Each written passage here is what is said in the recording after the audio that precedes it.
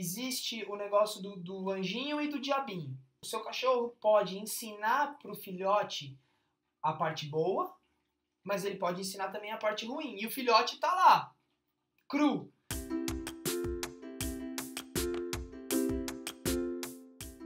Querendo aprender a parte boa ou a parte ruim, depende do que vai ser ensinado para ele. Que é o comportamento por osmose que eu falo. Ah, Rafa, eu vou pegar outro e vai ensinar o meu outro a fazer xixi sozinho no lugar. Não, não vai ensinar.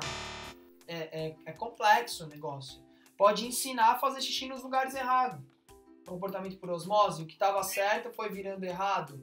Por quê? Provavelmente ele começou a entender que ela tinha reforço, por mais que seja uma briga, por mais que seja uma bronca, por mais que seja qualquer coisa do tipo, ele fala assim: oh, mas ela ganhava por fazer isso, nem que seja uma bronca. Ela tinha atenção. Eu vou fazer igual para ganhar essa mesma atenção. E aí ele entra no comportamento por osmose errado. Aí a parte do diabinho ficou com ele.